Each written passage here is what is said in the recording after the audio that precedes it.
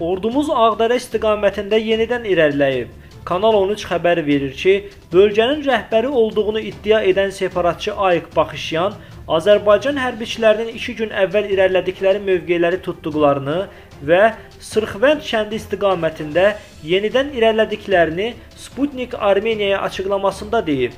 Hazırda ordumuzun kənddən 500 metr məsafədə yerləşdiyi bildirilir. Əvvəl bu mövqe 1,5 kilometr məsafədə idi. Erməni qoşunlarının çıxarılması bəndini hələ də yerinə yetirməyən Rusiyaya cavab olaraq Azərbaycan irəliləmək haqqını bir daha xatırlatmış olub.